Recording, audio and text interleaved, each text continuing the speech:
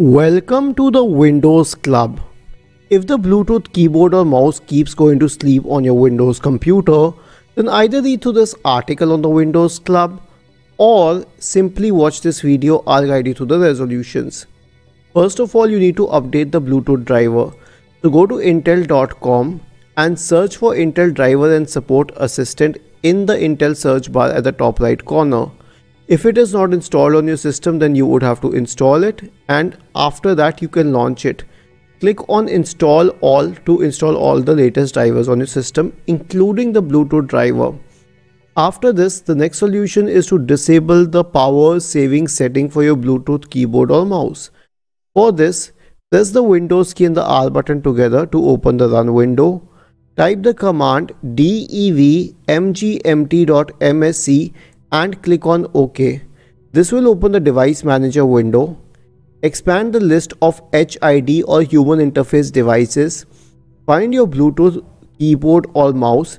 In my case, it reads USB input device because the Bluetooth keyboard and mouse are connected through a USB panel. I will right click on it and select properties.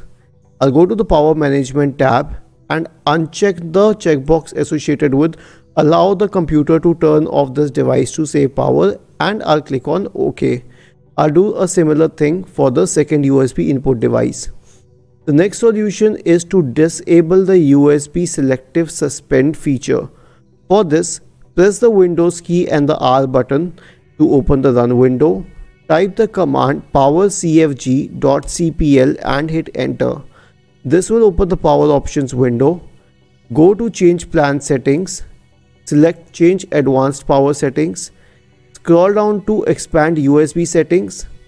Expand the list for USB selective suspend setting. Change it to disable for both on battery and plugged in mode.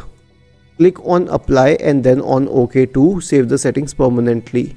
Lastly, you can also check if the issue is with the mouse itself by trying the mouse on a different computer. Isn't this easy and interesting? If you have any doubts, please go to the original article on the Windows Club, scroll down to the comment section and write your query. We will surely answer to it. Do not forget to subscribe to the channel. Thank you for watching this video and have a nice day.